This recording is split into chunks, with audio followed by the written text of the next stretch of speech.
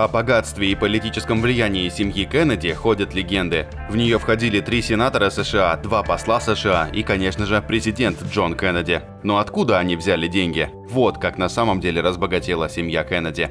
Источник всех богатств семьи связан с одним человеком – Джозефом Кеннеди-старшим. Его жизнь и первые деловые сделки стали предметом нескольких экранизаций, включая сюжетную арку сериала HBO «Подпольная империя». Он родился в Бостоне в 1887 году и столкнулся с дискриминацией из-за того, что был родом из рабочего класса и принадлежал к Ирландской католической церкви. Но он быстро сделал свое имя известным. Окончив Гарвард в 1912 он начал карьеру в банковском деле и стал делать пожертвования Демократической партии, закладывая важные политические связи. Он женился на Роуз Фитджеральд в 1914 и это был мудрый политический шаг, потому что ее отец Джон был никем иным, как мэром Бостона. Но Джон был возмущен тем, что выскочка из рабочего класса стал частью гораздо более известной семьи, поэтому отец отправил Роуз на год в монастырскую школу в Европе, в надежде, что расстояние положит конец браку. Но не вышло. Их брак ознаменовал установление важных общественных связей для Джозефа, а Роуз осталась играть роль послушной жены политика, воспитывать девятерых детей и закрывать глаза на интрижки мужа. К 20-м годам Джозеф Кеннеди-старший стал инвестором, которого не особо заботила этичность того, как он получает свои деньги. И его роль в крахе фондового рынка 29 года балансирует между законом и беззаконностью. Как сообщает History, к 29 году Кеннеди уже стал известен как толковый инвестор. В том году он увидел, как его коллеги-инвесторы вкладывают деньги в то, что казалось быстро развивающимся рынком, но присмотревшись повнимательнее, он понял, что рынок довольно переоценен. Он продал часть акций и начал сокращать другие, делая ставку на то, что очень скоро они будут стоить намного меньше. Он оказался прав, и когда в 29 году фондовый рынок рухнул, он заработал деньги, а другие остались банкротами. По данным Питтсбург Квотерли, Кеннеди не гнушался и инсайдерской торговли, хотя в то время она и не была вне закона. Тем не менее, он знал, что времени остается мало и говорил коллеге, нам лучше поторопиться, пока они не приняли запрещающий закон. Согласно Питтсбург Квотерли, первый набег Джозефа Кеннеди-старшего на кинобизнес произошел в 20-х годах, когда Кеннеди приобрел 31 кинотеатр как часть бизнес-группы, но не смог получить возможность купить студию. Однако, благодаря знакомству с принцем Уэльским в Париже, он получил рекомендательное письмо и в конечном итоге несколько крупных британских чеков и стал владельцем студии. Позже он открыл в Голливуде свою студию FBO, затем еще одну и создал Radio Keith Orpheum, которая в конечном итоге стала известной голливудской студией RKO Pictures. Заключая новые сделки и продавая акции, он вышел из предприятия с прибылью более 15 миллионов долларов на сегодняшние деньги. И все это всего за несколько лет. Некоторые из этих сделок основывались на инсайдерской информации, но это не было незаконным, пока комиссия по ценным бумагам и биржам не решила иначе, под руководством самого Джозефа в качестве первого председателя. Слухи о том, что Джозеф Кеннеди подпольно продавал спиртное, судя по всему, были лишь слухами, возникшими после убийства президента Джона Кеннеди. Некоторые задавались вопросом, могли ли мафиози быть связаны с семьей со времен сухого закона. Chicago boss Sam Giancana told a friend that Joe Kennedy was one of the biggest crooks that ever lived. И пускай подобные утверждения вряд ли соответствуют действительности, Джозеф действительно занимался законным алкогольным бизнесом до того, как сухой закон окончательно рухнул. Он создал новое предприятие под названием Somerset Importers и заключил во время поездки в Великобританию контракты для импорта различных спиртных напитков в Соединенные Штаты. I made the same deal, you know. Excuse me? Across the pond. To import doors when the country returns to its senses. Это произошло отчасти благодаря его связям с Франклином Рузвельтом после некоторых важных политических пожертвований, и бизнес был запущен всего за несколько месяцев до отмены сухого закона в 1933 году.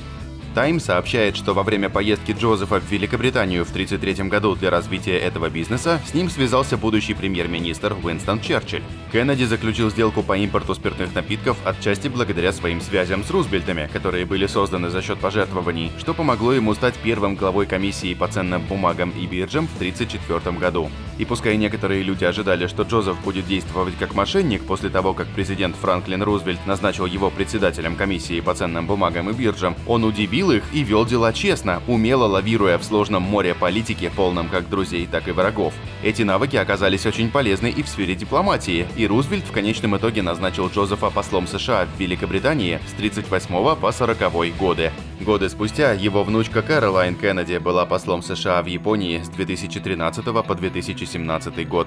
И пускай Джозеф Кеннеди-старший сам занимался политикой, кажется довольно очевидным, что его настоящие политические амбиции были воплощены в его сыновьях, а началось все с Гарварда.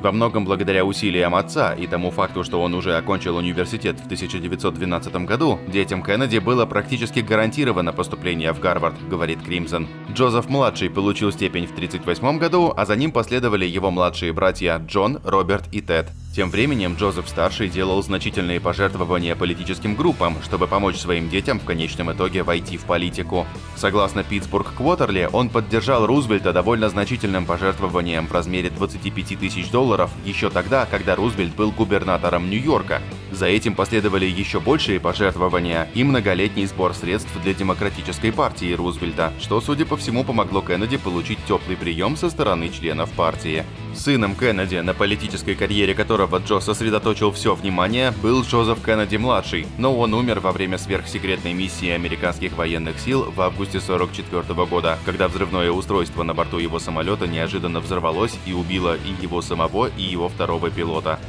Как сообщает Питтсбург Квотерли, после смерти Джозефа-младшего, следующий по старшинству сын Джон стал центром политических амбиций Джозефа-старшего.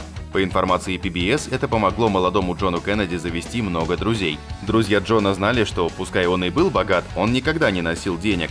Поэтому всякий раз, когда они проводили время вместе, друзья платили по счетам, а затем Джозеф-старший сразу же им все возмещал. Имея такую поддержку, Джон Кеннеди извлек выгоду из политических связей, созданных его отцом, и вошел в национальную политику после своего избрания в 1946 году в Палату представителей. В 1953 году Джон Кеннеди женился на Жаклин Бувье из богатой семьи.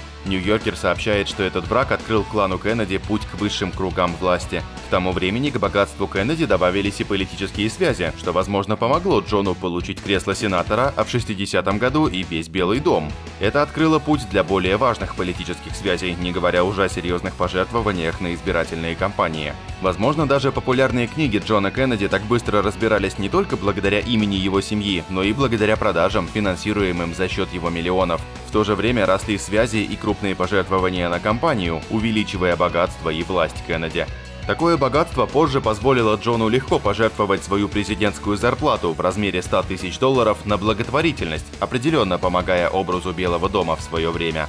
Благодаря инвестициям и коммерческим сделкам в самых разных предприятиях, от импорта спиртных напитков до голливудских киностудий, Джо-старший запустил успешную стратегию диверсификации, которая окупилась денежной и политической выгодой. И, как и многие инвесторы до и после него, отец клана Кеннеди тоже вложил приличную сумму в недвижимость. Как говорится в книге «Патриарх», к первым двум десятилетиям 20 века Кеннеди уже глубоко проник на рынок недвижимости Бостона, что, конечно же, принесло его семье большой доход. Недвижимость продолжает оставаться значительной частью состояния современного семейства Кеннеди. Как сообщает PBS, земля и дома, принадлежащие в настоящее время Кеннеди, относятся к высшему классу. Есть известные семейные комплексы в престижных местах, таких как Кейп-Кот и Палм-Бич, а также более коммерческие объекты, такие как гоночная трасса Хайалия в Майами, которые приносят деньги Кеннеди. Согласно Forbes, семья Кеннеди также имеет долю в Vorendo Realty, которая приносит им миллионы от инвестиционной сделки с компанией через зарегистрированные предприятия и фонды. Было подсчитано, что с 1998 по 2014 год семья заработала 170 миллионов долларов только на этой сделке. Имея довольно приличную сумму денег, у Кеннеди есть веские причины сосредоточиться на том, что происходит, когда их деньги попадают на глаза налоговому управлению. И, как и другие сверхбогатые люди, которые могут позволить себе нанять частных налоговых консультантов, они научились пользоваться некоторыми весьма прибыльными налоговыми льготами. В частности, большая часть состояния Кеннеди не столкнулась с налогом на прирост капитала, как объясняет Инвестопедия, он по сути представляет собой налог, взимаемый с инвестиций. Когда физическое или юридическое лицо продает инвестицию, любой рост между моментом покупки инвестиции и моментом ее продажи подлежит обложению этим налогом. Так что с большим количеством инвестиций, которые со временем могут вырасти, налог на прирост капитала может начать сильно беспокоить инвестора. Но, как сообщает Forbes, семья Кеннеди, похоже, отсрочила и, возможно, даже полностью избежала налога на прирост капитала для многих своих инвестиций из-за значительных лазеек в законе. На данный момент Кеннеди – одна из самых узнаваемых семей в Америке с очень весомым состоянием. Оно выросло со времен предприимчивого Джозефа Кеннеди-старшего, и теперь гораздо больше членов семьи имеют доступ к этим фондам без надзора со стороны главы семьи, который положил им начало. Так как же их состояние продолжает существовать, столкнувшись, скажем, со своенравным членом семьи, ничего не смыслящим в управлением деньгами? Не будем называть имен нынешних Кеннеди, но на случай, если кто-нибудь когда-нибудь попытается безрассудно потратить все состояние, деньги Кеннеди, вероятно, будут в безопасности. Согласно Forbes, большая часть семейного состояния спрятана в серии трастов, некоторые из которых управляются от имени Кеннеди-старшего. Предприимчивый Джозеф Патрик Кеннеди связывает вместе многие разрозненные фонды, на которых содержится от сотен тысяч до миллионов долларов. Тем не менее, хоть в правлении организации есть несколько членов семьи Кеннеди, большая часть фактической работы по управлению инвестициями ложится на внешних консультантов и управляющих финансами. Самих Кеннеди, которые подсчитывают деньги в конце дня, это вероятнее всего устраивает. Если попытаться вникнуть в мельчайшие подробности современного богатства Кеннеди, то можно наткнуться на немалое количество препятствий на своем пути. Согласно Forbes, большая часть активов семьи Кеннеди сейчас находится в частных ценных бумагах, а это означает, что достать публичную информацию о них довольно сложно. Кристофер Кеннеди сказал, что «мы очень публичная семья с очень личной инвестиционной философией».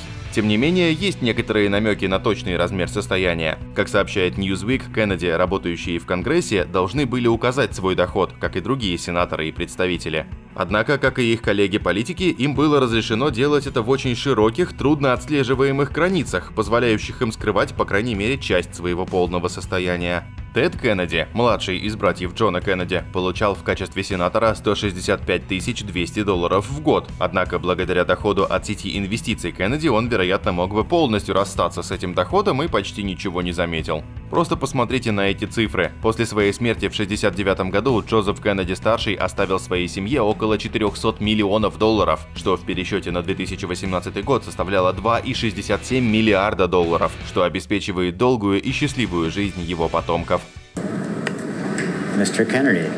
Посмотрите новые видео на нашем канале. К тому же скоро выйдут и другие ролики про самые интересные семьи политиков. Так что подписывайтесь и нажимайте на колокольчик, чтобы не пропустить ни единого видео.